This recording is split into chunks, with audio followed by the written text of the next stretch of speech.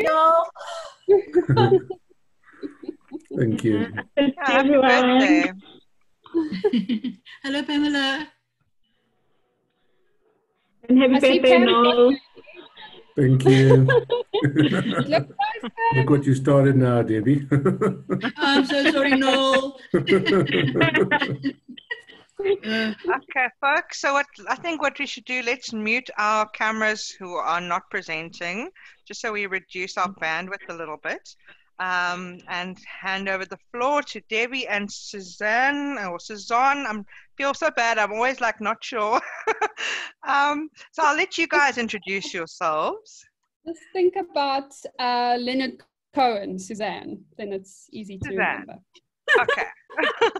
Thank you.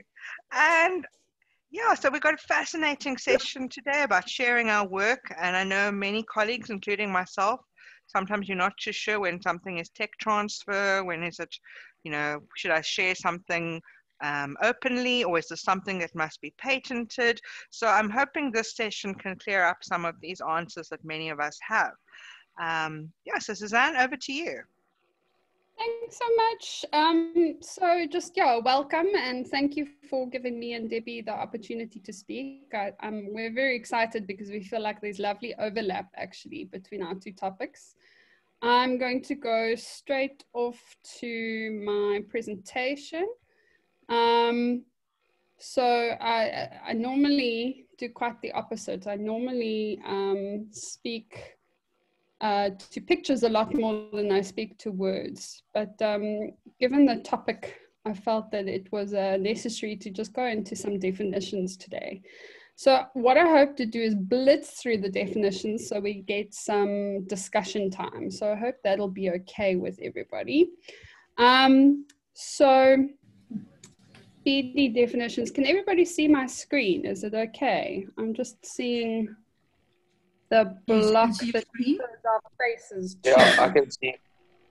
You can see, okay, great. And you can see the entire screen, no? It, it wasn't me talking with you. I can see it that. Richard wasn't you going screen sorry, as it sounded like you. well, hel- welcome to, to more participants. All right, so let's let's start with um, in in the South African context when we talk about IP, we kind of uh, refer to our Bible, which is the IPR Act, um, which was promulgated in 2008 and came into effect in 2010. And the reason this, this document is so central um, to the way we do tech transfer in South Africa is it was aimed at public benefit. And what do we mean by public benefit? We mean ac- actually literally improving the quality of the life of South Africans. Um, and you might ask, how does a piece of legislation that is about IP do that? So let's uh, take that journey first off. Um, so let's just start with what is IP. Um, IP is intangible, so it's difficult to get your mind around sometimes. But the way I like to think of it is it's something that you can come up with as an idea, whether that's an academic idea or just a eureka moment. Um, but it's something that can be translated into something that is real. Um, so whether that's a product or a service, um, a cure to HIV, a vaccine, uh, which we'd all love somebody to, to develop a, a COVID vaccine really quickly right now. Um, anything that can become a tangible something that you could trade with, that you can exploit commercially. Um, and then we talk about the IP creator.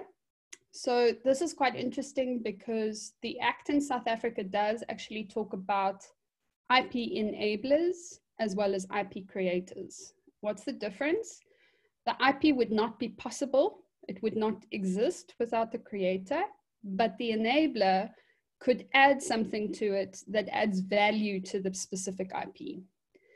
Um, in tech transfer, we talk a lot about inventions. Um, and I know that sounds a little bit mad scientist like, but when we talk about inventions, we're talking about something that um, is that tangible thing and you can protect it.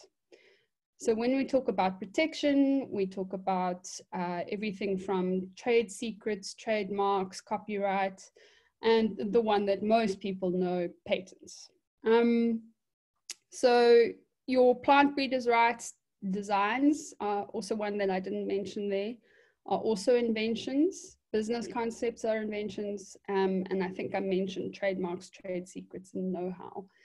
Um, I'm going to answer any questions on what are those a little bit later. I just want to get through the full narrative first. So do uh, hold your questions on those till question time. Um, so then in the academic sphere, we talk about disclosures.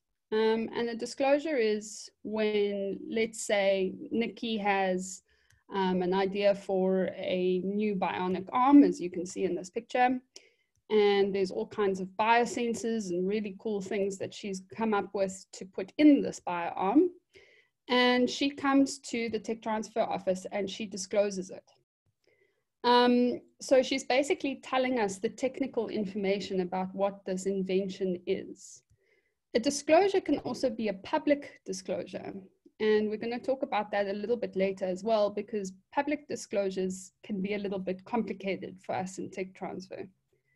An actionable disclosure means that the invention that you've now put out there and its technical information can actually be registered under IP rights. So that takes it to that place where it's now just something that you've spoken about to something that you can protect with a patent or any of the other um, registrable IP forms that I've mentioned. So what is a patent? A patent gives the patent owner, and that could be either an individual or an individuals, a group, uh, a company or an institution like a university, this exclusive right to commercially exploit your invention. And those rights last for 20 years. Um, and they're two very important and sometimes confusing criteria for us to be able to patent something. And those two criteria are it has to be novel or new. So they compare it when I say they, I'm talking about IP attorneys. When they file a patent, they go and look at all the prior art. What is prior art? It's all the other existing um, inventions out there and their patents and registrable IP or registered IP that exists already. And they go and look whether your technology has something added to that. So is it new? And it has to be non obvious, which I always love. It's fascinating. Basically, this means you can't, or you're not supposed to be able to easily reverse engineer the idea. And it has to have what they call an inventive step. And that inventive step, if you think about it, is really the thing that makes it new. So it all sounds a little bit pie in the sky, but stick with me and um, we'll take you forward through this journey and then we'll see if you're following. Okay, so now let's talk very briefly. I'm not going to go into this uh, too much, but this is a kind of a summary of, uh, this is a very standard process of tech transfer in universities across the, the globe. Um, there's, there's really very little that, that differs from university to university in this kind of cycle. Um, so as you can see, it starts with research, we hope, and then we hope that the research uh, group or the academic comes to the tech transfer office and discloses the invention. And then we evaluate it and see if it is something that we can protect and whether we want to commercially exploit this idea, this invention.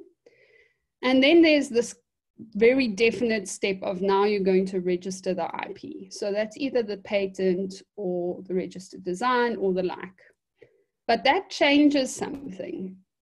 And the reason that changes something, this is obviously before it goes off and becomes a technology development project, and then you start taking it towards market. You start uh, making it a commercial, a commercializable entity. Um, but there's this cutoff here, right? when as soon as you protect.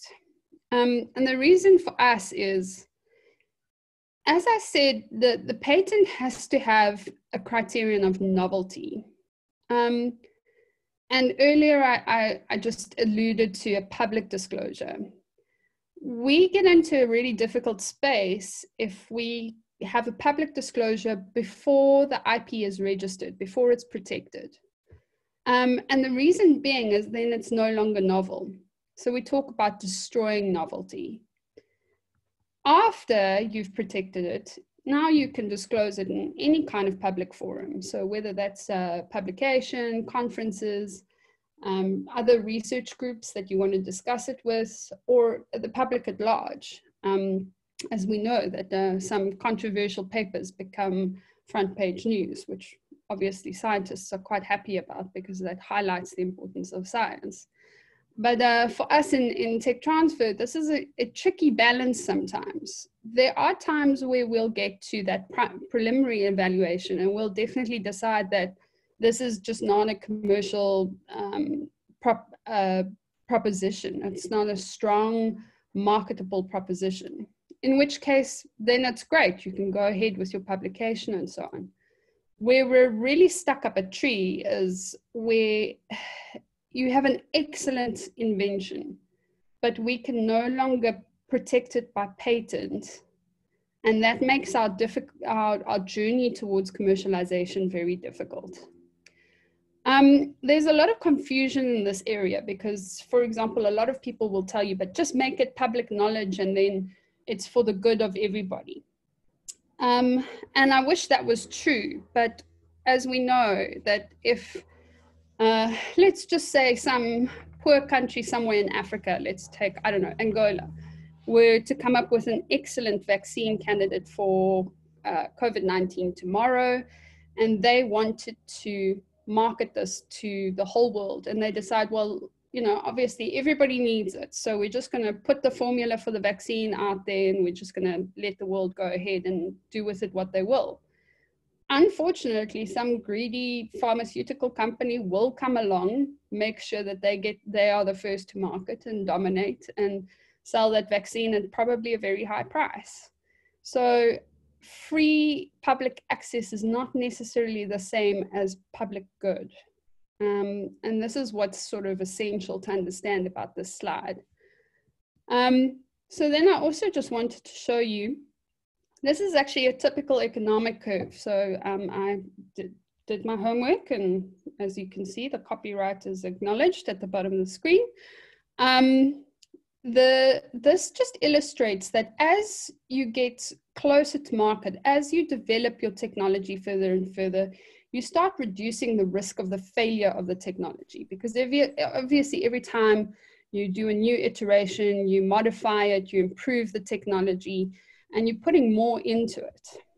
And of course, the cost of the, the technology is um, boosted but also enriches the technology because of the skill and capacity within a university. That kind of academic integrity is very different from a, a private R&D perspective, which rushes to market. Universities will really spend time on developing their technologies and their inventions because we take a research and a scientific approach to these things. So you end up with a mature technology that's been de-risked. And when I say de-risked, I mean that you've basically tested all your assumptions about this technology. Um, is there a market? How big is the market? What's the price point? All of those things. And you've also protected this technology with the um, registrable IP forms that we've already discussed. So let's say you put a patent on it. Um, and now it's mature, it's ready for market. So you can see how a university technology can really offer something very potent to industry, to trade. So why does the sharing of information thing become very important? Um, on the right-hand side, you'll see a, um, a little infographic that we developed together um, with NIPMO and with an amazing uh, graphic designer, if anybody wants to get in touch with her.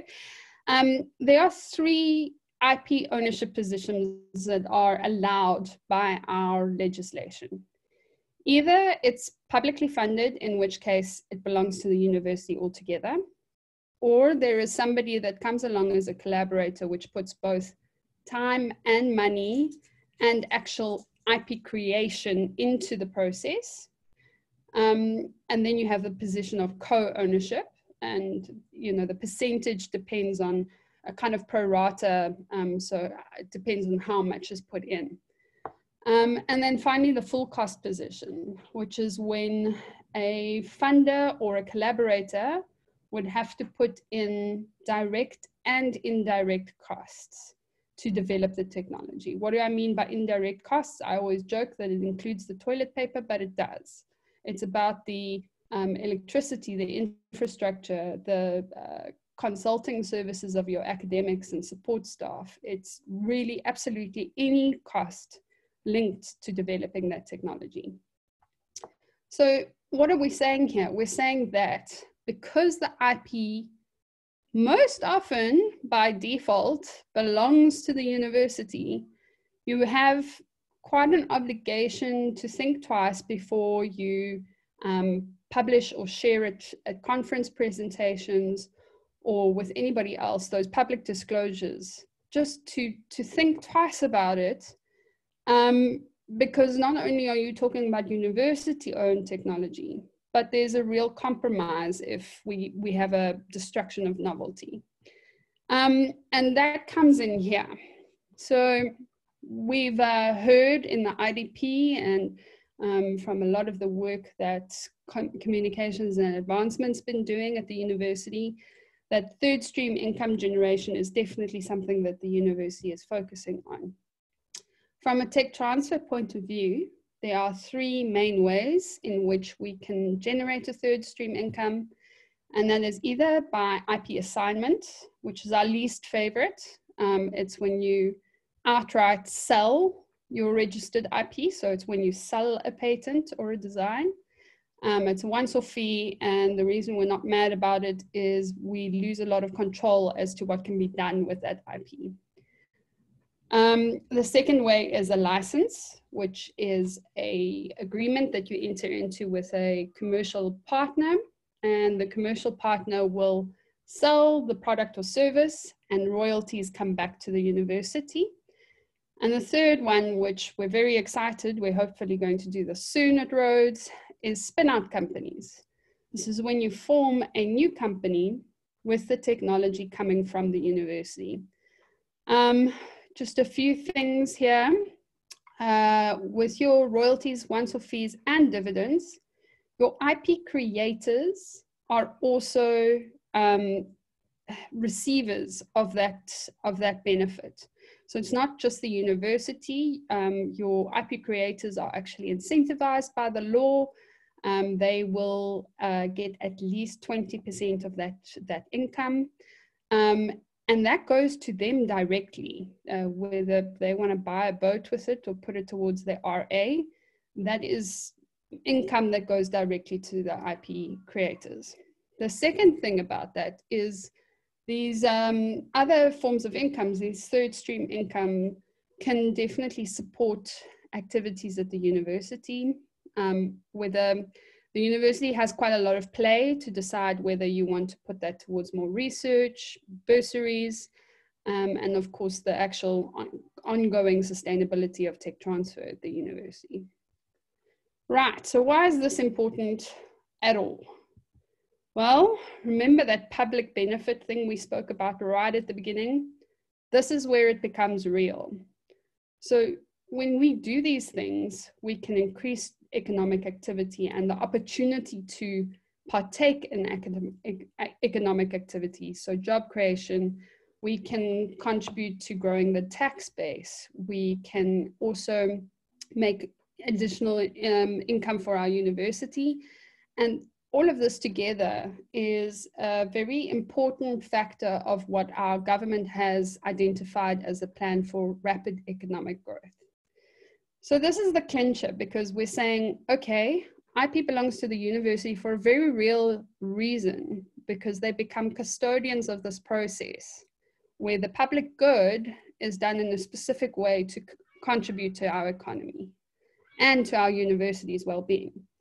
So I hope that whole journey now starts making sense because this is why we're saying, okay, we need to be a little bit careful about when and how we share information beyond the university.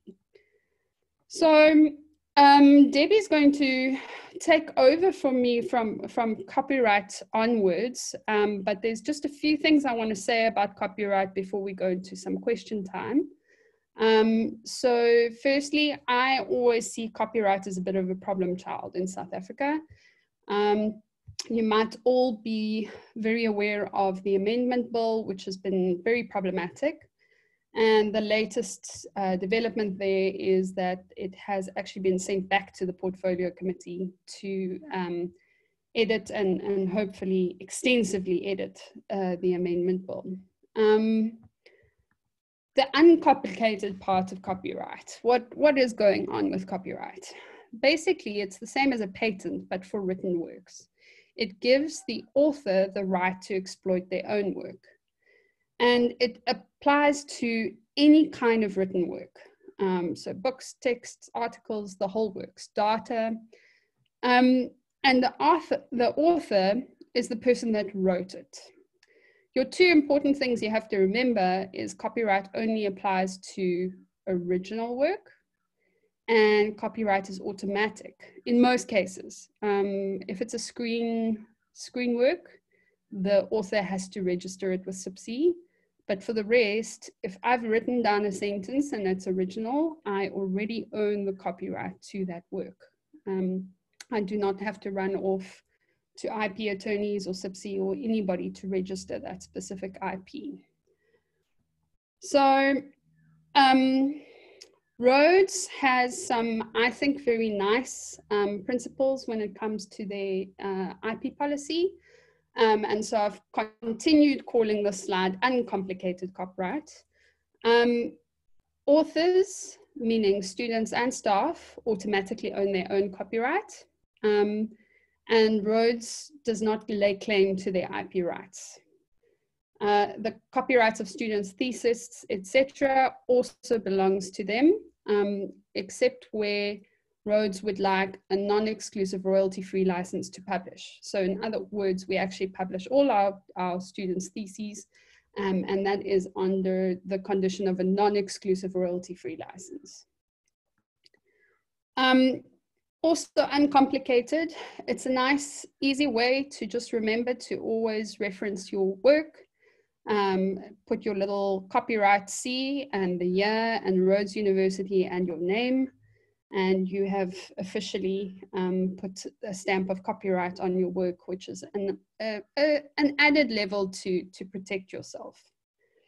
Um, the year or the date is very important because we spoke about originality if I write a sentence today and I write the same sentence tomorrow, then obviously tomorrow's sentence is not original.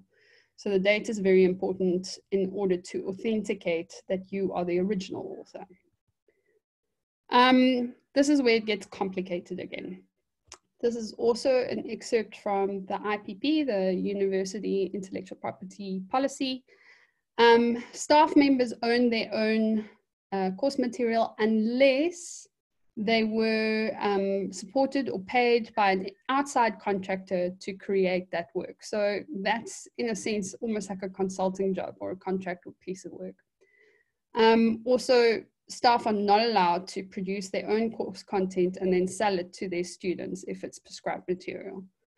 Um, and then finally, and this is an important one to understand. So if most copyright does not actually um, is not covered or is not uh, something that pertains to the IPR Act. But if that copyright is in a place where it could be commercialized, then that changes. So for example, if I write a massive database that I could sell to someone, or I write programming for an AI entity, then that copyright now has a commercially exploitable angle. And because our law says that if we have IP that can be exploited for South African benefit, now we're obliged to do that. So um, this is the, the, the, final and important, and I'll, I'll speak about this more in question time if, if you have any questions on computers and programming and software aspects of, of IP protection.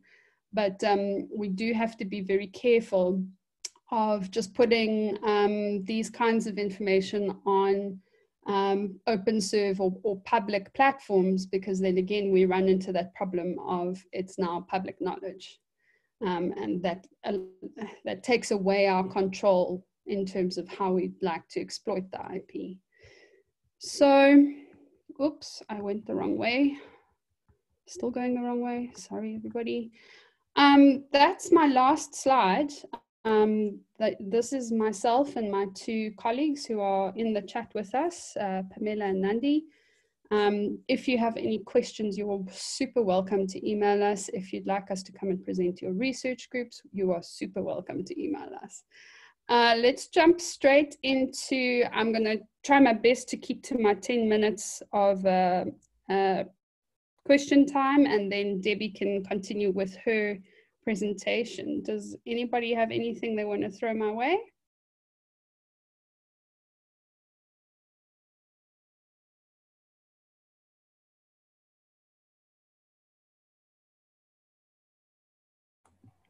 Nothing happening? Did I bore everybody? Don, I've got a question, if I may. It's Absolutely. So, how do you balance out then within the research office the publication of journal papers, conference papers, and the like, versus where there might be some sort of intellectual property implication of that?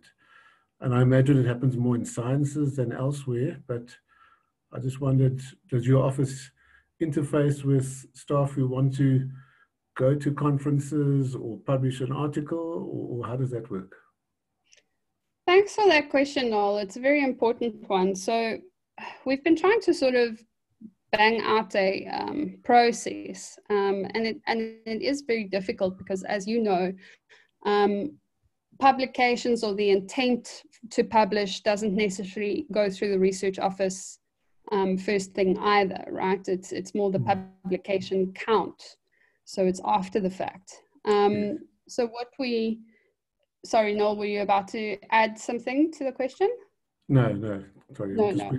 Um, so what we what we try to do is we have attempted to work very closely to um, both the NRF office, um, because obviously they're highlighted towards projects that may um, create IP.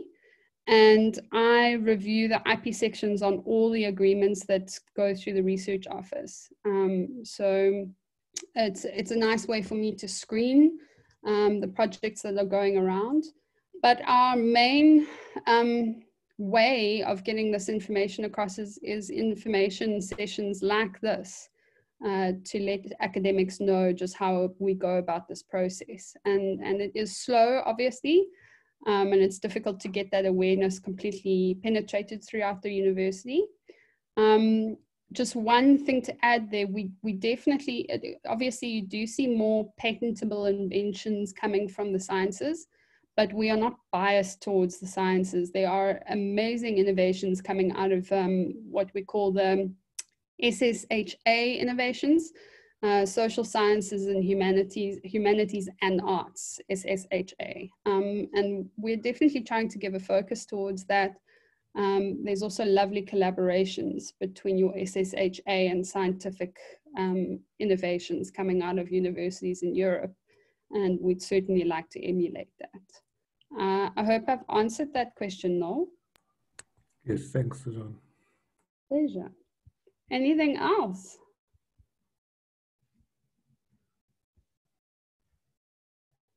Nothing. Everybody's quiet. Nicola either bored everybody or threw too much information at them, in which case I really apologize, guys. No, I think it actually will make more sense when we contrast the two, the tech transfer yeah. and the, then, you know, I guess will have probably a richer discussion because um, I think that's where it gets confusing. Perfect. No, then I think Debbie should take center stage, and and I'll be here to answer any questions at the end if if there are any. Cool. Thanks, Suzanne. And over to you, Debbie.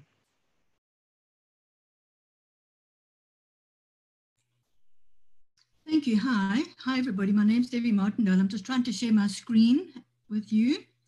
Um, I'm hoping that I'm getting onto my slide slides. Are you able to see the slides? Yes, we can see them. Perfect. Okay. I hope you don't mind if I keep the um, the video off. Um, I'm experiencing a little bit of a lag here, and so I started worrying about the presentation this afternoon. Is that okay? Yeah, perfect. Go for it. Okay, great. Thanks very much.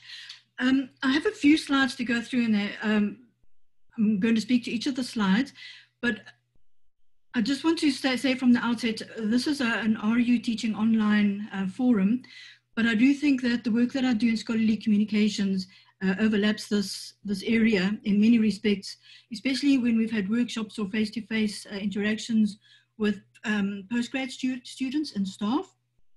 Um, often the, the remark I get or, or the feedback that I get is, um, we wish we'd known about this a little bit sooner. So maybe this is one of those times where we can say, this is a little, um, one of the times that we can say that this is now sooner. I al- also like to start um, a discussion like this just to define scholarly communication because it, it shows very clearly how informal channels um, support the traditional research um, practice and models. So this definition where scholarly communication is defined as the system through which research and other scholarly writings are created, evaluated for quality, disseminated to the scholarly community, and preserved for future use. The system includes both formal means of communication such as publication in peer-reviewed journals, something that we're all familiar with, and the more informal channels, and it's the informal channels that creates this um, unease in, in researchers um, as to how, this can really support the traditional peer-reviewed journal models. So open access is largely um, the basis of, of my role at, in the library and at, in the university. And I like this, this definition by Peter Suber for uh, um, open access. It is an idealistic one, but it's a really good fundamental basis of what everybody is striving for. And that we're looking for open access literature, which is digital, online, free of charge, and free of most copyright and licensing restrictions. Open access removes price barriers, which is subscriptions, licensing fees, pay per view fees, and permission barriers, which is uh, most copyright and licensing restrictions. And as Suzanne said earlier, there's this overlap between what happens in the tech transfer office and the library and the research office um, in the registrar's division as well. There are um, a lot of uh, two major principal routes of open access. The, there are others other than the green and the, and the gold route, but I'm only going to speak about the green and the gold, gold route now. So what is green route open access? It's all about self-archiving and the practice of depositing articles in an institutional repository or a central repository or a subject repository. And I can see very clearly that Rhodes researchers have taken this on board. Um, you can see research and articles on research data published in, in, in one form or another in these different repositories. But at the bottom of the screen, what I would like to, to point out is the Creative Commons. So where Suzanne spoke about copyright and licensing and the IP um, activities that happen in the um, tech transfer office, a lot of the work that comes my way has to do with Creative Commons, and I'll speak to this a little bit more and throughout, throughout the presentation. And this little icon here will tell you if something has um, a Creative Commons copyright license, and that is an open access article. And this little icon that, that you can, I'm hoping that you can see my, my arrow, sh shows um, the different licensing options that you can have when you create a um, creative copy license um, for yourself. So copyright and Creative Commons, the link there uh, on the screen shows you um, how you can choose a license for yourself. You will be given this opportunity to choose a license. You go through the, these uh, flows of choose the features, optional information, and then you finally get the license. But basically what you're looking for is, is which license suits you the best for your article or for your research data.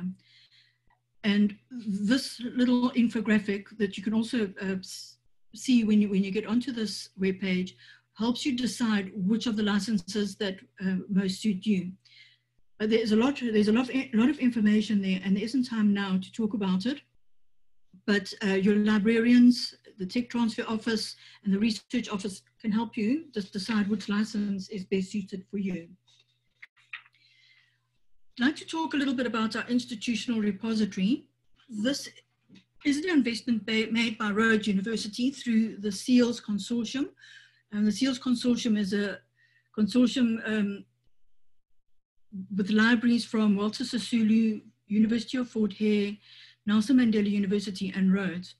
So through that consortium, um, we, the university invested in Vital, which is the platform of our institutional repository, and we call it the Rhodes Digital Commons. There is a link there to the Digital Commons, so if, you, if you're not familiar with it or you just want easy access to it, please um, take a look at our, our um, commons and see why it could be important for you. But essentially, institutional repositories are digital collections of the output created within a university or research institution. It is fully copyright compliant, and how we do, how we assess that is through the open access button. We also use the unpaywall um, extension, Kopernio, which is a Web of Science extension. Those three, by the way, are uh, Chrome extensions that you can install on, on your PC or laptop. We also go through Sherpa Romeo uh, for copyright compliancy, and we also look to see if the article or research data has a Creative Commons license But basically everything that is uh, uploaded onto our institutional repository is copyright compliant and it could either be um, a full, full text version or PDF of the article, it could be a preprint copy or it could be a citation link to the publisher's platform, but it is all copyright compliant. Um, when researchers are granted funding, sometimes and more often than not, researchers are asked to publish their research into um, an open access repository and it is advocated that, that you support um, the institutional repository. Types of articles that can, uh, uh, types of works that can be deposited into the, the, the digital commons. Automatically the theses and dissertations uh, are, sent to the library and we, our cataloging staff um, upload those into to the Commons. We're busy working on the article and conference papers. You can see that there are reports. These are technical reports or uh, reports generated from research groups, research data. This, this next icon here is research data. And you can also see audio and visual um, works can be added onto the repository and of course books and book chapters. I've been working a lot with the research output uh, for 2019, 2020. Some of it's even gone into 2021. But already you can see the hits and the interest and the uptake and downloads of the research articles that are already on the repository. So I strongly encourage you to make use of, of me and I can help you upload these articles into the repository. Okay, so now we've spoken a lot about the green route of, of open access. I just want to touch on, on the gold route of open access. This definition um, on the screen is, a, is again one of the ideals that we, we are striving for, um, in that we can use open access journals to make content immediately available to the public free of charge and in line with open access requirements at the time of initial publication. What you're not seeing here um, unfortunately, is, is the factor that, is a huge challenge for publishing in open access journals, and that's the article processing charges or costs, the APCs. It is up to the author to, to, pay these APCs to have the article published in open access journals. And sometimes these range from $500 to $1,000 and more. And that's a lot of money. Uh, currently, researchers are finding their way around that um, to make the article an open access publication by using some of the research grant or also applying to the research office uh, as part of the, APC budget. It is a very limited budget, so um, not many articles are able to be published open access in this way. Having said that, um, we still encourage and, and advocate publishing in, in open, um, open access journals. A lot of our researchers are publishing in the Public Library of Science or PLOS. Um, so uh, if you're interested, take a look at that.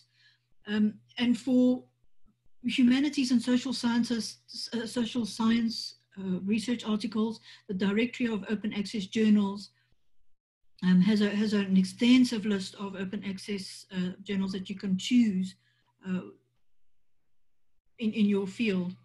I have inserted a list um, of list of accredited journals on the slide and it takes you to our subject guide or you can see that it says LibGuide but it's our subject guide um, which will also help you decide if this, if this open access journal is an accredited journal um, and therefore permissible to be published in, at Rhodes University. There's also some information there about predatory journals. Um, what I do think is important is that the open access is a, uh, is a movement. A movement suggests change and the publishers themselves are changing their business models. So for instance, you've got Elsevier, you've got Wiley Open Access, you've got um, Sage, Springer, and Taylor and Francis. All of them offer um, researchers to publish their articles in the traditional way. In other words, they don't have to pay the um, APC, or researchers are invited to also publish um, the same um, article in the journals, but by uh, open access means, and then you have to pay the APCs. But it is important to note that the, there is a, a, huge change happening here. And even now with the, with the pandemic and the COVID-19, a huge change came about where suddenly all these journals who, who, who are fighting against um, the open access movement um, to some degree suddenly opened up all the channels to open um, resources for research um, being conducted uh, on, uh, on the COVID-19. Okay, so I'm going to talk a little bit about, re about research data management, and this is now specifically research data. Whether um, if, um, institutional repository he speaks to um, research articles and audiovisual material, research data management is about research data and, and what do you do with the data that you have generated uh, in your research project projects. And in many instances, researchers at the start of the research uh, project have been generating some form of data, even if it's decision making. What am I going to do with my data? What kind of data am I going to have? Is it qualitative? Is it action? Is it um, quantitative?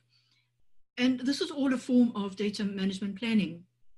So we have a lot of uh, queries coming uh, to us at the library about research data management and um, data management plans. And there's a link here to our, our subject guide uh, about RDM and data management plans. I'd also like to, to um, showcase uh, Figshare.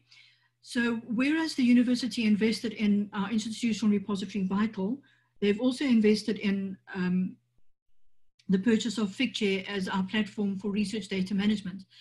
And both Vital and Figshare are hosted and managed uh, by library staff. This is where you would uh, submit your, your Figshare, uh, sorry, your research data to the Figshare platform. Oh, this is a little bit slow in moving forward. I'm going to try again. Okay. Sorry, something's happened here.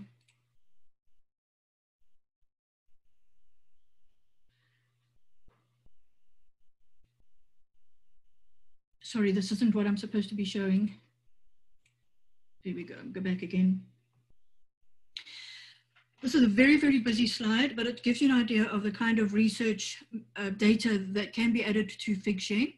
And it's very simple. You get onto the uh, Figshare um, platform, and, you, and it's both the institution repository and the Figshare uh, platform you'll find under quick links to on the Rhodes uh, library page.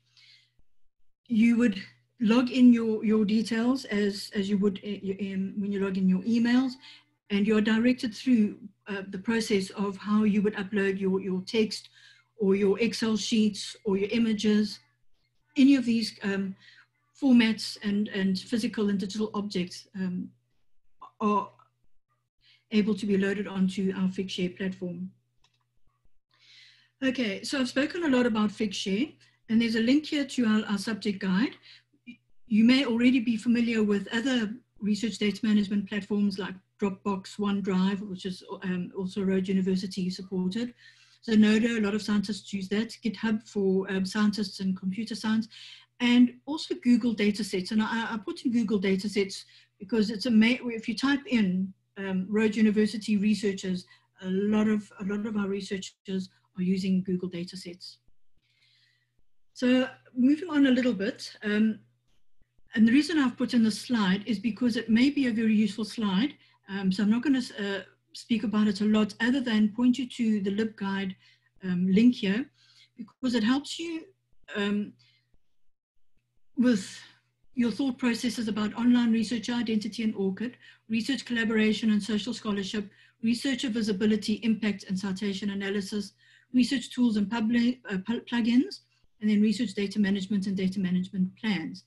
And I think it's we, we put a lot of effort uh, into keeping this this um, web, website updated, so uh, it provides use for hopefully provides useful information for your your purposes and decision decision making.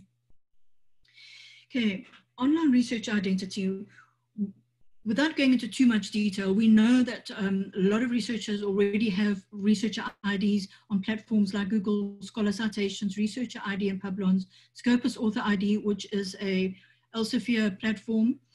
Then there are also uh, um, researcher IDs with platforms such as Loop. This is a, a scientific one. What, what I'm saying here is that a lot of researchers may already have a lot of researcher IDs, and it can become very overwhelming. And this is where ORCID plays a very, very important role. And so I'm going to speak a little bit about ORCID in, in this um, context. So ORCID stands for Open Researcher and Contributor ID. Um, for more information about ORCID, you can uh, to go you can go to the ORCID website. Um, to register, I don't want to do that. I don't know why I clicked on that. To register your ORCID, you go to um, this register your ORCID ID and you are asked just to submit your name and your surname, your email address. And uh, once you've, met, you've submitted, you're um, sent an email and ask you to verify your ORCID. Once you've done that, you will be allocated an ORCID, which is an, a persistent researcher identifier. And the reason why ORCID was created in 2003 was because they real, there was a realization that publishers were publishing articles under either their maiden or married names, as in the situation of Helen Cruz, where she's published articles under both her names. And then also other publishers would, would uh, other authors would send their works to publishers um, using their preferred publish, publication name, but the publishers themselves uh, published the articles using a version of the name um, of, of the author's name according to their own regulations. So researchers were accumulating these huge variety um, variations of their name. And what ORCID does is use a social media technology to bring all research works published under all the different variations of name and bring it under one link um, and attach it to your persistent identifier.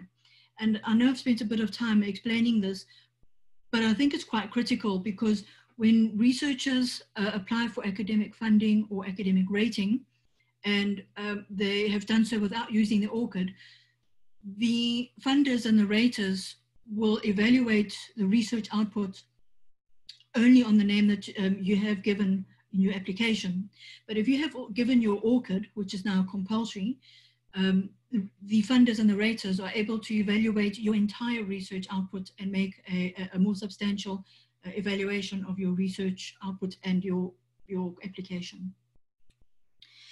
Okay, this is a very quick slide to show you that what one can do with, a, with an ORCID profile. You can create an, um, uh, an online CV where you have a, biography in education, employment. You can, these are the different variations of your names under also known as. By, promote, by selecting country um, South Africa, you're promoting South African and African research. And just under websites, you can link your, your other researcher IDs, such as academia.edu, LinkedIn, Mendeley, and ResearchGate, and all the others. And then more importantly, well, not more importantly, but importantly, um, there's an, there is a, a, facet here where you can upload all your works into your, your ORCID profile. And in all of your, your, your uploads, there will be a link to your work on the publisher's platform. Okay, um, the last bit on ORCID. As a researcher, you would submit your research, your, your research article to the publisher with your ORCID um, number attached. Once the publisher publishes and accepts and publishes your article, automatically that information is sent through to the employer, Rhodes University, and to the funder. And really, essentially, what that means is that you enter your, your um, information once and you submit your article once, and it's reused often and circulated so that everybody in the whole process, ORCID process gets to know about your research article. Um, and it really works, and it, I can tell you it helps me a lot in my job when I upload articles onto um, Vital or research data, uh, sorry, the Rhodes Digital Commons. A quick way of sharing your ORCID is by putting it in your um, email signature because other people will see um, your email content, realize that you have an ORCID profile and go into your profile. And this is one way that um, research collaborations are expanded. Getting, getting to the end now. Um, this is the slide where again I've given a link to research collaboration and social scholarships. Um, the reason for the slide is to give you an idea of the different platforms you might be wanting to engage with. You may already be familiar with ResearchGate and academia.edu, but there are other ones called Amico, Viva, I've mentioned Loop already, and Mendeley. And Mendeley, although is a, um, a software, reference software management tool, it is also used for social scholarship and re research collaborations. Um, this slide um, talks about researcher visibility, impact, and citation analysis we have already spoken about ORCID in great detail. I have already um, spoken a little bit about Google Scholar citations. Researcher ID and Publons, uh, we can have a whole session just on that um, because there's been some amazing moves with uh, Web of Science. Um, Scopus, where you have your author, Scopus author ID. But what I also want to touch on is the more informal aspects of citation analysis, and that is altmetrics. Um, so you may have seen already on, on articles, published articles, a little icon that looks like this, which is altmetrics, or one that looks like this, which is Plum Analytics. And what does that mean to us? Okay, this article was published on the 7th of May in 2020, so uh, just a, a recent article. Um, it is an, uh, an, article published one of our researchers um, in the physics department. Uh, let me just go back. You'll see here, it, is, it has an altmetric value. You can also look at um, other, other um, metrics, but we're going to look at the altmetric value. And what does that value mean? Well, this screenshot that I've just uh, um, pulled up now was taken on the 21st of July. So the article was published on in May. And by the 21st of July, this article was already shared informally um, in 10 news outlets uh, via two blogs and has, was tweeted by four other people. Um, so already there was a social media uptake and sharing of this article. Um, you can also drill down a little bit further and see where the interest has come um, for this article. And you can see it's largely come from uh, North America and Turkey. And that's the value of altmetrics. It, gives you an opportunity to see how valuable um, the, uh, your, the research article is, and it's looking at the article level or uh, metric of the article, which is why it's called altmetrics. Um, very often, um, the metrics is focused on, on the science, scientific research output, and this is a, an excellent article, which um, if you're in the humanities and social sciences um, domain, I think you'll find this very interesting and very encouraging to see the move of, of altmetrics in the humanities um, arena. Rhodes University, this is a bit of a plug for Rhodes University. We have um, a Facebook page and we have a Twitter page. Um, we encourage you to follow us. But what I also would like to mention that is that since 2017, uh, 2013, um, the Rhodes faculty librarians uh, share research output uh, that's generated every month uh, uh, via our um, tweets and also on, on the Facebook platforms. Quickly, um, you may already know about RefWorks um, as, a, as a research um, reference management tool. Rhodes Library uh, subscribes to RefWorks. Rhodes University subscribes to PaperPile. Um, we do not subscribe to EndNote, but it is available to you um, at no cost via the Web of Science platform. Um, some researchers have actually purchased their own subscription for that. And then, of course, we also support Mendeley and Zotero. There are a number of um, reference management tools. And if you want to see the others, you can go to our LibGuides. A link is there for you to see. And then lastly, I just want to speak about um, and Unpaywall and Open Access Button. These are Chrome extensions and you um, have to install them onto your, to your laptop or PC. But what it does do is that when you call up uh, or when you research um, for articles and um, you come across a paywall, meaning that uh, we're not, we, Rhodes University does not subscribe to that article, um, Kopernio finds other ways that perhaps this article could be made available to you legally um, by an open access means. And um, again, in my job, these three tools are very invaluable um, to, to source open access articles. Um, and I, th I, think that's a, it's, uh, it's well worth having a look at. And for more information, you can go to our LibGuide and the link is there for, for you. And I'm glad to see that uh, Suzanne spoke a lot about uh, copyright and plagiarism, but here I'd just like to, to mention that um, we have an undergraduate librarian who has um, created a, a, fantastic information commons uh, subject guide. And one of the, the subjects or one of the tabs that she has on that guide is all about referencing and plagiarism. And uh, this might be something useful that you might want to refer students and postgrad students um, to um, in, in this uh, copyright and plagiarism challenging situation that we often are faced with. For more assistance in, in everything that I've spoken about, the, um, I have the names of our faculty principal librarians. Uh, for science and pharmacy, it's Ms. Tandewe Menzi. Commerce and law, Ms. Jill Otto. And humanities and education, Ms. Linda Cartwright. And then, of course, um, you can also contact me. Uh, I'm Debbie, um, Scholarly Communications, and my details are there. And thank you very much. Um, uh, are there any questions for us?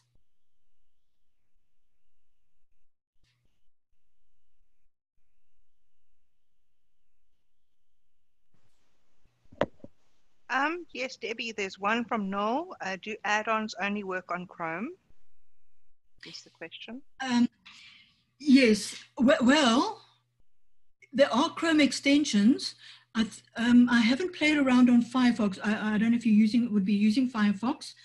So what I could do is, uh, um, I, I could play around. It would be quite fun to play around and see. And I can get back to you.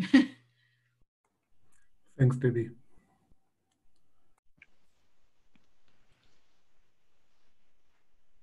Okay, any more questions? Maybe you want to type in the chat or take the mic. Um, I've got a question for you, Debbie, which yes. is around teaching materials. So at the moment with remote teaching, many lecturers are creating, you know, or narrated presentations and materials that could potentially be licensed openly and shared, you know, would they then share that on Figshare? Yes. Oh, yeah. Thank you. For, that's a really good question. And thank you for that, Nicola. Um, Figshare, we already have open education resources on Figshare. Uh, um, and since I spoke about Figshare to, to um, another group on the CPGS group, uh, I can see that we've been inundated with, Fig, with Figshare uh, um, deposits. Um, and these online video, this is the ideal platform for those, for the online video tools we have been asked by our, our library director to convert our online tutorials and, and, and so on um, into videos or uh, um, PowerPoint presentations and to load them onto Figshare as well. Um, And so I've, I've, we have, we've created a collection for that. We've also created a collection for Turtle. Does that answer? Ah, yeah, perfect. So yeah, I mean, we spoke a lot about research, but also just to get folks thinking also about their teaching and how yes, and these spaces can apply to teaching materials. The other yes. one I just have is around yes. altmetrics. So does altmetrics speak to Figshare? Um, Nicola, I'm going to have to investigate that a little bit more. I, I actually think it does. I seem to remember seeing um, on, on the University of California Figshare page that I saw altmetrics. And so I think that would be something that I could explore and see if we could get, get either altmetrics or um, Plum Analytics onto our platform. I've got a feeling it goes through the Altmetrics Explorer, which we don't subscribe to. Um, it's it's it's five hundred dollars um, annually. So I would have to motivate for something like that, but I think it's definitely something I can explore, and it's worthwhile. Okay, wonderful. Because um, with our Oppenheimer Memorial Trust uh, funding, we have um, getting equipment to assist folks with creating online materials and encouraging um, that people share their materials via open access. And we've actually been asked um, to report on the impact of these open materials. so I'm just wondering if Altmetric might be a route for us. Um, so yeah. yeah. Figshare has these has this data for you. Um, so definitely you can collect that data from Figshare. And I know that you've deposited uh, or uploaded um, items into your Figshare, but I'll do, I, I will explore uh, the altmetrics and I will, I will uh, share that with you. Great, thanks Debbie. Uh, any more questions folks? Please feel free to take the mic or type your question in the text chat. Can I'll go ahead then? And yeah, go for up? it, Noel want to follow up on your first question, Nicola. And Suzanne, I'm not sure if this is for you or Debbie or, or both of you. But what has happened more recently within the business school, we are now running short courses online as well. And my concern there is, is actually around copyright or intellectual property protection. So what do we do in that kind of case? Um, so for example, if we're setting up something that runs asynchronously, we might have, as Nicola described earlier, a PowerPoint presentation with voice notes built in that you convert into a video that's, that's uploaded there for what is intended just for that particular uh, class, or the particular class or the participants enrolled for that course. But of course, anyone could just simply download that and distribute it because it's in digital format. So what kind of protections should we put in place? And, and Nicola, maybe there's even some implication for you here. Is it possible to embed material into RUconnected so it is not downloadable? So I think it might cover all three of you. I don't know if that question makes sense. Total sense, Noel. Um, so actually what we've been seeing is that RUconnected was envisioned as being very open. And even if you didn't uh, people who didn't have an enrollment key on their courses, you know, anyone on You Connected could go into your course site if it was open, even if they're registered for another program, and look at your materials and even download if they wanted to. Um, unfortunately, I mean, you don't want to restrict downloads, but um, we are working on ways that students only see, they can only see materials and course sites for which they are enrolled on uh, which is the case for most other uh, universities. And I think this is where Suzanne, Suzanne and, and us actually where we met, because um, this is one of our concerns as we'd observed um, a group of students uh, who were professionals working at other universities and they were going on other people's course sites and downloading materials. Um, so we thought, we know how are we going to protect the lecturers um, from this? So maybe Suzanne, you also want to say something. Thanks, Nicola. Yeah, and that is that's exactly how I guess this talk came about, really, because uh, Nikki myself um, had started having this conversation. Um, no, I think in the short term, definitely make sure that you place your um, your copyright and obviously that little reference that I put on that slide um, on each of your slides and definitely all your notes. Um, if, if it's going to be outside of RUconnected for any reason, so if you have a YouTube channel, um, I know that you can password protect um, so that only people with a certain password can access certain videos. Uh, and I, I don't, don't know, uh, Nikki would be the one to ask um, whether there are opportunities like that on, on several different other platforms. Um, I know I, I, had the privilege of, of doing German one, uh, and they were very, um, actually the whole lockdown wasn't as hard on, on the German um, department as it was on many others because they were doing a lot of online teaching before. And I know that I had to log in with my student number, and, which is very hard for a staff member to remember. Um, but there are there are ways and means. Um, I think one of them is to, in a sense, restrict your logins.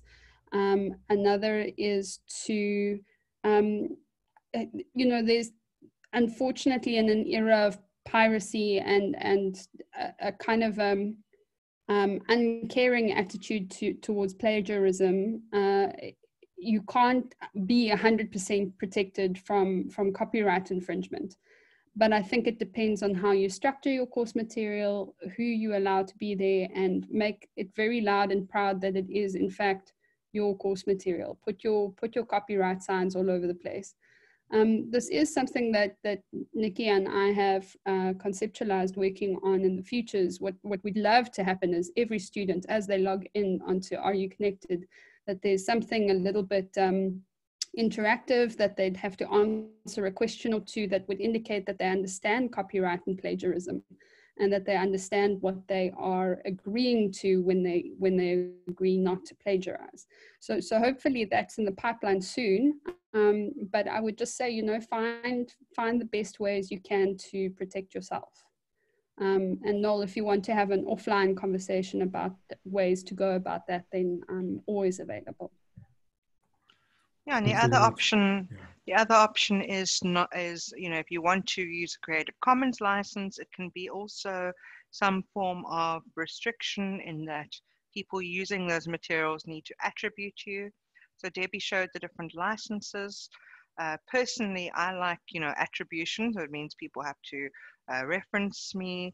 Um, I'm happy for people to reuse stuff, but just not for things to be you know, for commercial gain. So, for example, a publisher um, using it because it's been, uh, you know, made, you know, that the, the license is that open that a publisher could pick up on it and reuse it and make money from it. So I guess that is a, it comes down to your personal decisions. Um, Debbie, what do you think? How should we be licensing our teaching materials? Or is it up to the individual lecturer? Uh, um, I, while you've been talking, I, I, was thinking you've nailed everything in a nutshell, um, because it is definitely up to the preferences of the um, individual. And Creative Commons, you can get a really strict Creative Commons, and if it's if you have that um, at, that icon on your tutorial or your video or, or, or anywhere, um, then the, they are liable if they break copyright and share it illegally. Thank you. Yeah, and especially for folks like yourself, like yourself, um, you know, you're doing a short course, and obviously people are paying money for it. Um, and while some, you know, there may be benefits in sharing some parts openly, um, you don't want to you know, have another business school pick up on, you know, and reusing your material and it's a course that they're getting income from. Um, so yeah, it is murky territory. Any more questions, folks? Going once, going twice. Okay, it doesn't seem like we have any more questions. Uh, so I want to say a huge thank you to Suzanne and to Debbie for presenting for us today. Um, I think it really gets us thinking about how we can share our work and the different ramifications, what we should be thinking about. So, yeah, thank you guys. It was awesome. Thanks so much for the opportunity and thanks everybody for their time. Yes, thank you very much for, for as, as Suzanne said, opportunity. And um, yeah, it was, it was great.